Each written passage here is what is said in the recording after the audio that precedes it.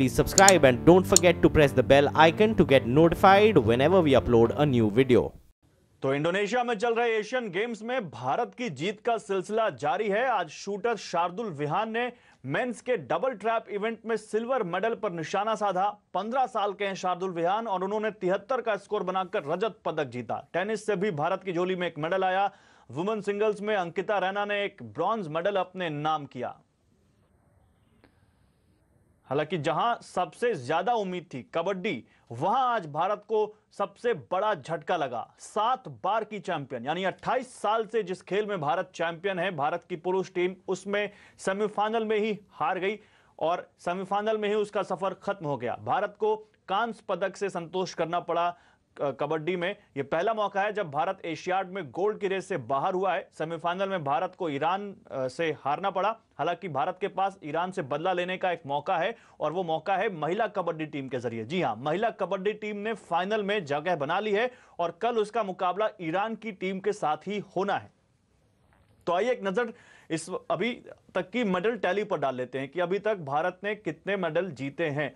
कुल 18 पदक भारत की झोली में अभी तक आ चुके हैं। अगर हम देखें और दसवें नंबर पर भारत अभी तक मेडल टैली में आता है। पचपन गोल्ड के साथ चीन मेडल टैली में टॉप पर बना हुआ है। उसके नीचे जापान है। जापान 25 गोल्ड के साथ नंबर दो पर काबिज है। तीसरे नंबर पर साउथ कोरिया है। साउथ कोरिया 15 गोल्ड जीतकर मेडल टैली में नंबर तीन की पोजीशन पर बना हुआ है। और जैसा कि मैं आपको बता रहा था, मेडल टैली में भारत चार गोल्ड, चार सिल्वर और दस ब्रॉन्ज गोल्ड, ब्रॉन्ज जीतकर दसवीं पोजीशन पर पहुँच गया है। तो एशिया, एशियाड में भारत के मौजूदा प्रदर्शन पर बात करने के लिए मेरे साथ दो बहुत ही खास मेहमान हैं। मेरे साथ हैं इस वक्त स्पोर्ट्स एनालिस्ट अयाज मेमन और वरिष्ठ स्पोर्ट्स जर्नलिस्ट, वरिष्ठ खेल पत्रकार मलय नीरव। आप दोनों का स्वागत है और मलय जी तो सबसे पहले मैं आपसे लूँगा पांचवा दिन। सबसे पहले आज के दिन के प्रदर्शन पर, भारतीय खिलाड़ियों के प्रदर्शन पर बात कर लेते हैं। तीन पदक सर अभी तक आए हैं। एक टेनिस में अंकित राणा लेकर आई हैं। ब्रॉन्ज पंद्रह साल के शूटर शार्दुल विहान सिल्वर लेकर आए हैं। और जो तीसरा पदक, जहाँ गोल्ड की उम्मीद थी, ब्रॉन्ज आया है भारतीय कबड्डी टीम का। तो अभी तक के आज के खेल पर क्या कहेंगे आप? मिला जुला दिन भारत के लिए कहा जाएगा क्योंकि देखिए एक कबड्डी हम्म। में बहुत आस निराश भाई ये कबड्डी एक ऐसा खेल है जहाँ हम हम्म। मान के चलते थे कि फाइनल में तो जगह मिलेगी मगर दाद देनी होगी पंद्रह वर्ष की उम्र में जो शादुल विहान ने किया है आज आपको याद होगा डबल ट्रैप नहीं एथेंस में ओलंपिक्स में 2004 में राज्यवर्धन सिंह राठौड़ ने जब सिल्वर प्राप्त किया था तो इंडिविजुअल इवेंट में वो पहला सिल्वर मेडल था डबल ट्रैप में। और अब एक बार शार्दुल विहान ने जो करके दिखाया है ये उम्र जब खिलौनों से खेलने की होती है उस समय अगर आप मिट्टी की चुड़ी चिड़िया को उड़ा रहे हो शूटिंग से तो ये बहुत बड़ी बात है। और ये मेरे ख्याल से एक बहुत बहुत बहुत बहुत इससे बढ़ावा मिलेगा शूटिंग को। जिस तरह से इससे पहले सौरभ और अब शार्दुल ने किया है एक 16 वर्ष का एक 15 वर्ष का और हम्म। दोनों ने ये बताया है कि शूटिंग में हम्म। भारत के लिए आने वाले दिन बहुत अच्छे हैं लेकिन कबड्डी में बहुत निराशा हुई है क्योंकि भारतीय टीम ईरान के हाथों जिस प्रकार हम्म। हारी और कांस्य पदक से मैं, मैं यही मैं यही सवाल लेकर अयाज मेमन के पास जाऊँगा आपने 16 साल के सौरभ का ज़िक्र किया आपने 15 साल के शार्दुल का किया 19 साल के लक्ष्य भी है उन पर हम बात करेंगे लेकिन कबड्डी का जो आप ज़िक्र कर रहे हैं अयाज 28 साल सात बार की चैंपियन टीम और वो सेमीफाइनल में हार गई ईरान के हाथों 18-27 से। क्या वाकई कबड्डी में जो स्टैंडर्ड खुद भारतीय टीम ने सेट किया था, उसके मुताबिक वो नहीं खेले? और दूसरी तरफ़, महिला कबड्डी टीम की बात करें तो उन्होंने फाइनल में जगह बनाई है। उनके पास एक मौका है ईरान को हराकर ये इस हार का बदला लेने का। क्या कहेंगे आप? ज़ाहिर है कि जो उम्मीद थी, उससे बहुत नीचे परफॉर्मेंस रहा है इंडियन मेंस कबड्डी टीम का, क्योंकि सबकी आशाएँ थी और मेरे ख्याल से टीम ने खुद ने ये सोचा होगा टीम के प्लेयर्स ने कि हम यहाँ पर स्वर्ण पदक जीतेंगे, लेकिन वैसा हुआ नहीं। ये बताता है कि आप भले ही डिफेंडिंग चैंपियंस और सात बार अपने गोल्ड मेडल जीता है, लेकिन दूसरे कंट्रीज़ जो है, दूसरे मुल्क जो है, वो तरक्की कर रहे हैं। सबकी कोशिश होती है कहीं ना कहीं पोडियम पर आए और पोडियम पे आने के बाद फिर गोल्ड मेडल जीते। और यहाँ पर ऐसे लग रहा है मुझे कि ईरान ने ये साबित किया है कि वो कबड्डी में, जहाँ तक कबड्डी का सवाल है, वो कितना कितना उनका प्रोग्रेस हुआ है, क्योंकि ना पूरे वुमेन्स फाइनल में भी वो उनका प्रवेश कर लिए। तो मुझे लग रहा है कि एक, यहाँ पर झटका बैठा है और ये कुछ सबक सीखना होगा, क्योंकि कबड्डी जो है, हमारी ताकत मानी जाती थी और इसमें अगर ब्रॉन्ज मेडल ही मिला है गोल्ड नहीं मिला है तो कहीं ना कहीं सवाल तो उठेंगे ही। ठीक है। मला जी, लेकिन अब थोड़ा आगे चलते हैं। कबड्डी की तो हमने बात की, लेकिन हॉकी की बात करते हैं। और हॉकी में जिस तरह से पुरुष और महिला दोनों ही टीमों ने बेमिसाल खेल दिखाया है, और खासकर जिस तरह से अब, अभी तक का जो प्रदर्शन रहा है क्या ये माने कि वो कमज़ोर टीमों के खिलाफ था? इसलिए बहुत अच्छा प्रदर्शन हमें देखने को मिला। पिछला रिकॉर्ड खुद का तोड़ा भारतीय टीम ने। अब क्योंकि जापान और साउथ कोरिया जैसी टीमें सामने आनी है तो इस जीत के मोमेंटम को तो बरकरार बरकरार रखना चाहिए भारतीय टीम को, लेकिन ओवर कॉन्फिडेंस की शिकार ना हो जाए। क्या लगता है आपको कितनी तैयारी दिखती है और क्या उन मुकाबलों में आप देख पाते हैं? देखिए मैं, आपने बहुत माकूल सवाल उठाया। इसमें कोई शक नहीं कि जब टीम, बड़ी टीमों के साथ भिड़ेगी और ये छोटी टीमों की बात जब पुरानी बासी पड़ जाएगी, उस समय क्या करती है टीम, ये देखने लायक बात होगी क्योंकि अगर हांगकांग को आपने 26 शून्य से मात दे दी या आपने और किसी ऐसे वैसे टीम को मात दे दी तो इससे बहुत बड़ी बात नहीं होती है। मगर देखिए, ये जो बात हमें जो इसमें पॉजिटिव दिखाई दे रहा है, हमें जो इसमें आशा की एक किरण दिखाई दे रही है कि ये टीम हल्की से हल्की टीम को भी हल्के में नहीं ले रही। ये टीम ये नहीं समझ रही कि अगर हमारे सामने हांगकांग है तो हम इसके साथ ऐसा खेलें और हमारे सामने कोई और अच्छी टीम आए तो हम उसके सामने ऐसा खेलें।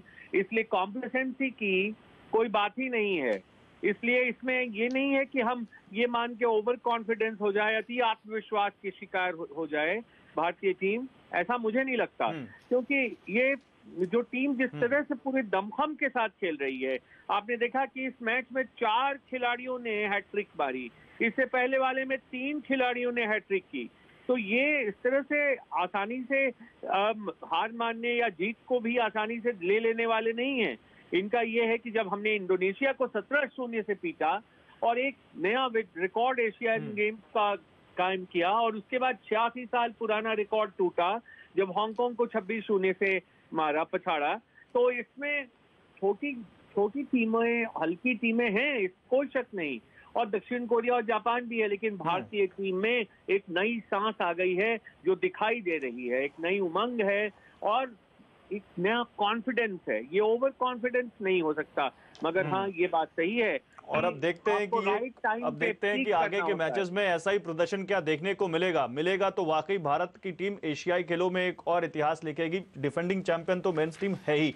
लेकिन मैं अयाज मेमन आपसे एक सवाल लेना चाहता हूँ। सवाल यह है कि दीपिका कुमारी जो हमारी तीरंदाजी की सुपरस्टार रही थी उनका प्रदर्शन इस वक्त एशियाड गेम्स में भी अच्छा नहीं रहा। बहुत उम्मीदें थी आज उनसे लेकिन उन्होंने भी यहाँ पर निराश किया भारतीय प्रशंसकों को। आखिर ऐसा क्या हो रहा है दीपिका कुमारी के साथ आपको लगता है? और क्या लगता है आपको कि उम्मीदों के मुताबिक प्रदर्शन नहीं रहा निराशा हाथ लगी वहाँ से? देखिए बिल्कुल प्रदर्शन नहीं रहा है उम्मीदों के हिसाब से क्योंकि उम्मीद थी कि मेडल मिलेगा वो हुआ नहीं है। आ, ये एक आप कह सकते हैं क्योंकि दीपिका जब वहाँ गई तो उन डेंगे, डेंगे उनको हो गया था और पूरी तरह से रिकवर नहीं की थी। ये एक पहलू है। दूसरा पहलू ये भी और ये एक हम्म। दर्द देने वाला पहलू है कि 2012 ओलंपिक से जब वो वहाँ पर भी गई थी तो उम्मीदें थी कि बहुत अच्छा परफॉर्म करेगी, वैसा हुआ नहीं। और लगातार अगर आप देखें तो मेजर कॉम्पिटिशन में उनका यानी कि एशियाड हो या ओलंपिक्स ऐसे जो टूर्नामेंट्स होते हैं, उसमें प्रदर्शन इतना अच्छा नहीं रहता है। तो क्या इसकी वजह ये है कि बिग ओकेजन पे, बड़े स्टेज पे वो थोड़ी सी झिझक जाती है?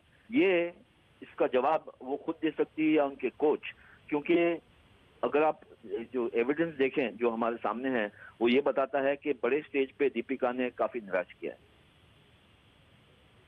ठीक है मैं एक आखिरी क्वेश्चन मलय जी आपसे लूँगा और आपके हिसाब से आगे किन खेलों पे आपकी उम्मीदें टिकी हुई हैं और ज़्यादा और कहाँ पे भारत को स्वर्ण पदकों की आपको उम्मीद दिखती है? देखिए अभी एथलेटिक्स के मुकाबले शुरू नहीं हुए हैं अंत में होते हैं। उनमें भी पदकों की उम्मीद इस बार है जैवलिन में उम्मीद है। और हमारे जो और शॉर्ट फुटर्स डिस्कस थ्रोअर्स हैं, उनसे भी उम्मीद है, लेकिन जैवलिन में तो सर्टनली बहुत अच्छी उम्मीद है। रही बात बाकी खेलों की तो जो हमारे परंपरागत खेल हैं, उनमें अगर आप उन पर नज़र डालें तो बॉक्सिंग शूटिंग और रेसलिंग ये तीन ऐसे खेल हैं जिसमें भारत ने अभी हाल फ़िलहाल बहुत अच्छा प्रदर्शन किया है और अब देखना यह है कि किस प्रकार से आगे प्रदर्शन रहता है बॉक्सिंग में भारत कैसा करता है और रेसलिंग में भी बुरा प्रदर्शन नहीं रहा है लेकिन और बेहतर हो सकता था। बैडमिंटन में आज एक हम्म। धक्का लग सकता था। बाल बाल बची हैं पीवी सिंधु बाल बाल बची हैं। तो बैडमिंटन में भी उम्मीद है और टेनिस में भी पदक आए हैं। हालाँकि स्वर्ण या रजत नहीं आया और पदक तो आए हैं और टेनिस में हम्म। भी कुछ पदक और आएँगे और अभी ये उम्मीद है कि नहीं रोहन बोपन्ना और दिविज शरद की जोड़ी ने शायद एक सिल्वर मेडल एश्योर कर लिया ऐसा कुछ है अगर आपके पास ज़्यादा जानकारी हो हमारे दर्शकों बिल्कुल वो सिल्वर मेडल एश्योर्ड है उनका जो मुकाबला है फाइनल हाँ। वो अभी जारी है वो अभी जारी है और सिल्वर मेडल अभी हम्म। एश्योर्ड है लेकिन आप देखते हैं कि क्या होता है क्योंकि जहाँ तक मेरी मेरी जानकारी है जहाँ तक मुझे लग रहा है कि वहाँ अभी जो पहला सेट है उसमें शायद वो पिछड़ रहे हैं जैसा कि मुझे अभी तक पता है। आप देखना है आगे कैसा बढ़ता है है और ठीक है, दूसरे है। सेट में अगर अच्छा करेंगे तो फिर तीन सेट में जाएँगे तो दो सेट में फैसला हो जाएगा।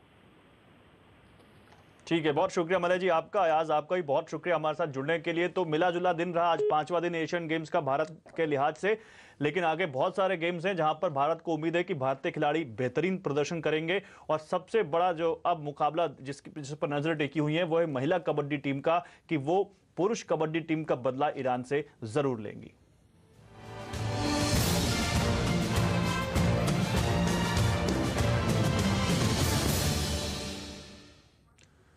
चलिए एक और बड़ी खबर जो आजकल काफ़ी सुर्खियों में है। व्हाट्सएप ने एक बार फिर से दोहराया है कि वो फेक न्यूज़ पकड़ने के लिए यूज़र प्राइवेसी से समझौता नहीं करेगा। इधर सरकार कह रही है कि व्हाट्सएप को फेक न्यूज़ का सोर्स बताना होगा।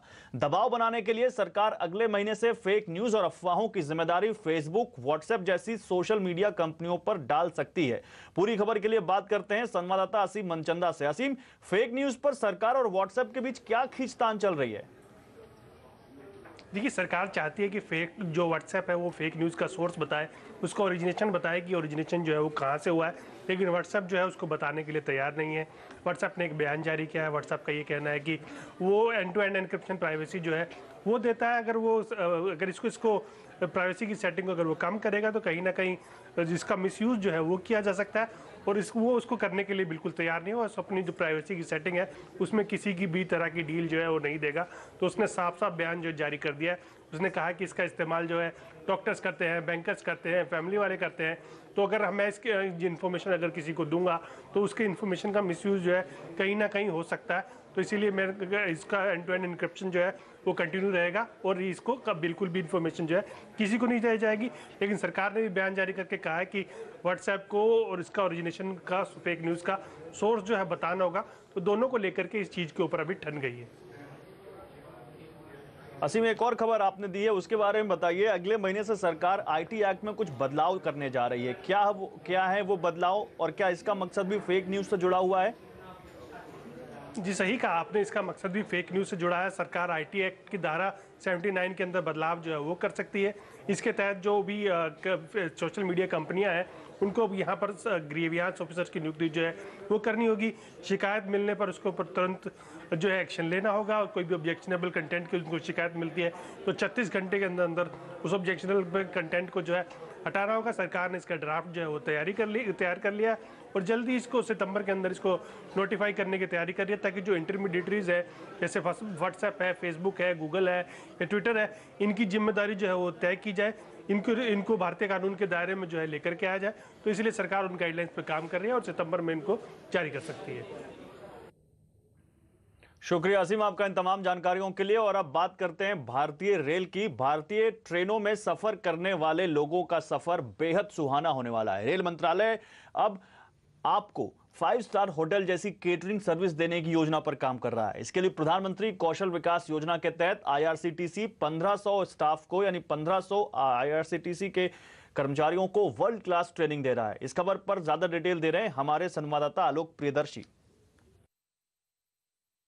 जी, आपके रेलवे के सफ़र के अनुभव को बेहतर बनाने के लिए एक तरह से तमाम जितने आईआरसीटीसी के जो कर्मचारी हैं, उनकी ट्रेनिंग की जा रही है, क्योंकि इन तमाम कर्मचारियों से ही आपका जब ट्रेन का सफ़र करते हैं तो वास्ता पड़ता है। और ऐसे में अगर ये कर्मचारी वेल ट्रेंड होंगे वेल बिहेव्ड होंगे, अच्छी तरह से फ़ूड एंड बेवरेजेस को सर्व कर पाएँगे तो ये आपके लिए भी अच्छा अनुभव होगा और साथ ही साथ उनके लिए भी काफ़ी अच्छा होगा। इसी को, इसी के मद्देनज़र रखते हुए ये जो प्रधानमंत्री कौशल विकास योजना के तहत आईआरसीटी के आईआरसीटीसी के जितने भी स्टाफ हैं, जो कि अभी तक रेलवे में कॉन्ट्रैक्टर के अंडर में काम करते हैं, वैसे करीब 1500 कर्मचारियों की ट्रेनिंग हो रही है और इस ट्रेनिंग को देने वाले जो लोग हैं, काफ़ी एक्सपीरियंस्ड काफ़ी अनुभवी लोग हैं, जैसे कि I L N F S और माइशा इंस्टीट्यूट जैसे जो ट्रेनिंग पार्टनर हैं, को प्रधानमंत्री कौशल विकास योजना के तहत ये तमाम लोग इनको ट्रेनिंग दे रहे हैं और ट्रेनिंग देने के बाद जो ये लोग IRCTC के स्टाफ हैं, इनको फिर से जो ट्रेन में डिप्यूट किया जाएगा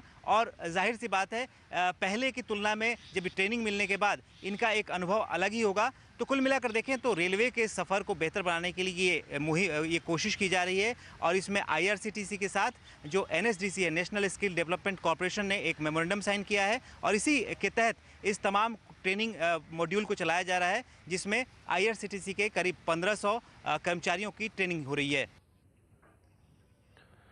उधर एएमएफआई के म्यूचुअल फंड के सालाना समिट में एचडीएफसी के चेयरमैन दीपक पारेख ने कहा कि म्यूचुअल फंड में लोगों का भरोसा तेज़ी से बढ़ा है आगे चलकर इसमें ग्रोथ बढ़ती रहेगी और अगले पाँच सालों में निवेश डबल हो जाएगा हालाँकि म्यूचुअल फंड के कॉस्ट स्ट्रक्चर में सुधार करने की ज़रूरत है The first trend is doubling of AUM in the next five years. The average assets, as you know, under management today is at 24 lakh crores.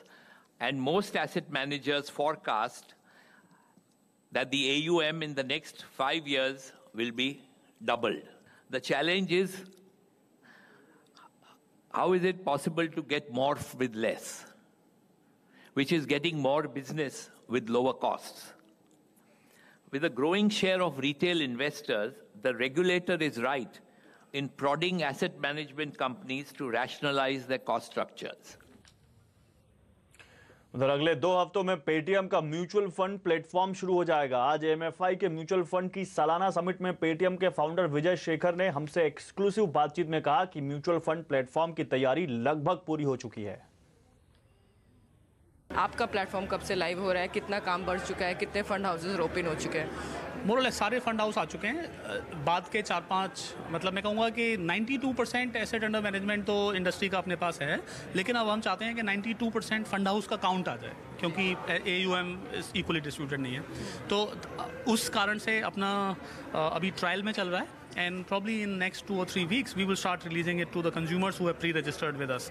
यानी जिन्होंने हमें पहले के रखा है कि हम चाहते हैं तो धीरे धीरे करके हम अपना प्लेटफॉर्म ओपन करना चाह रहे हैं। अगले दो हफ़्ते में स्टार्ट कर देंगे। और कितने हैं आपके पास प्री रजिस्टर्ड साढ़े सात लाख थे लास्ट टाइम आई न्यू और वो हो गया होगा आठ लाख भी हो गया होगा तो फ़र्क नहीं पड़ता। बट इंटेंट ये है कि हज़ार दस हज़ार इस तरह से स्लोली स्लोली खोलें। और जैसे फाइनेंशियल सर्विसेज़ के बारे में आप हमेशा काफ़ी अपबीट रहे हैं। बट अगर आगे की बात करें तो पेटीएम और किन चीज़ों पे फोकस करने वाला है इस साल? इस साल हमें अगर हम किसी चीज़ पर फोकस करना चाहते हैं तो म्यूचुअल फंड पे बहुत अच्छा करना चाहिए, क्योंकि किसी भी चीज़ को अगर हम बहुत अच्छा करें, तभी हमें एक राइट और टिकट मिलती है किसी अगली चीज़ को अच्छा करने की। इफ़ यू नोटिस हमने पिछले साल में कुछ कॉमर्स लेड चीज़ें करें टिकट करें इवेंट मूवीज़ ट्रैवल इस साल हम लोग फाइनेंशियल सर्विसेज़ कर रहे हैं। So effectively only one thing at a time many things will queue up, but one thing will get all the attention, and then next thing gets attention. So किस चीज़ पे काम कर रहे हैं, वो तो sequence है, but I think this year should be the year of mutual funds and equity markets. उधर आज केंद्रीय मंत्री अरुण जेटली ने वित्त मंत्री और कॉरपोरेट अफेयर्स मंत्रालय का कामकाज फिर से संभाल लिया। किडनी ट्रांसप्लांट की वजह से वो छुट्टी पर चल रहे थे। सर्जरी के बाद से ही वो सार्वजनिक जगहों से दूर रह रहे थे। जेटली की गैर मौजूदगी में पीयूष गोयल वित्त मंत्रालय का कामकाज देख रहे थे। उधर कांग्रेस अध्यक्ष राहुल गांधी ने जर्मनी के हैमबर्ग में छात्रों और भारतीय समुदाय के लोगों को संबोधित करते हुए कहा कि नोटबंदी और जीएसटी की वजह से देश में लिंचिंग हो रही है राहुल ने कहा कि नोटबंदी जीएसटी की वजह से बड़ी संख्या में छोटे कारोबार ठप हो गए, जिसकी वजह से लिंचिंग की घटनाएँ हो रही हैं demonetization. They imposed a badly conceptualized badly thought through, badly implemented goods and services tax, which complicated the lives of these small and medium businesses and basically resulted in the closure of hundreds of thousands of them. And large numbers of people who worked in these businesses were forced back. And these three things that the government has done has made India angry. And that's what you get to read in the newspapers. When you hear about lynchings in India, when you hear about attacks on Dalits in India, when you hear about attacks on minorities in India, that's the reason for it. उधर केरल में बाढ़ की तबाही के लिए विजयन सरकार ने तमिलनाडु को जिम्मेदार ठहरा दिया है। जी हाँ सुप्रीम कोर्ट में केरल सरकार ने कहा है कि तमिलनाडु सरकार ने मुल्ला पेरियार बाँध से अचानक पानी छोड़ा जिससे तबाही आई। ये बाँध है तो केरल में लेकिन इसका जल स्तर पूरी तरह से तमिलनाडु से ऑपरेट होता है। केरल लंबे वक्त से बाँध के डी कमीशन की मांग कर रहा है, जिससे सालों से लीक विकसित किए जा सकें।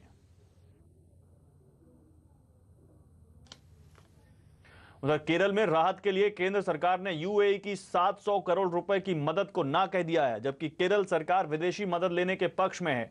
आज आवाज़ अड्डा में हम आपसे पूछ रहे हैं कि क्या केरल में राहत के लिए विदेशी मदद नहीं लेने का फैसला सही है?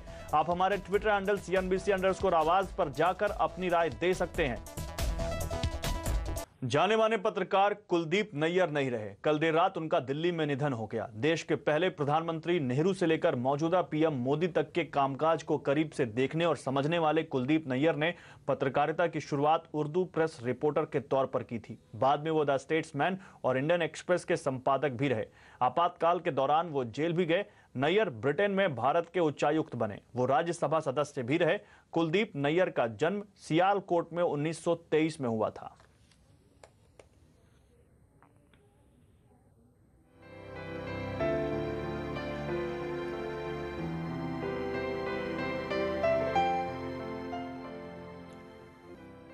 टीवीएस मोटर्स ने आज एक नई बाइक रेडियन लॉन्च की है। बाइक कम कीमत में बेहतर परफॉर्मेंस के साथ माइलेज भी देगी। इसमें 110 सीसी का इंजन है, जो 8.4 बीएचपी पावर जनरेट करता है। कंपनी का दावा है कि ये बाइक उनहत्तर किलोमीटर की माइलेज देगी, जिसमें side stand indicator USB charger और 18 इंच के ट्यूबलेस टायर हैं। रेडियन का सीधा मुकाबला हीरो स्प्लेंडर से है।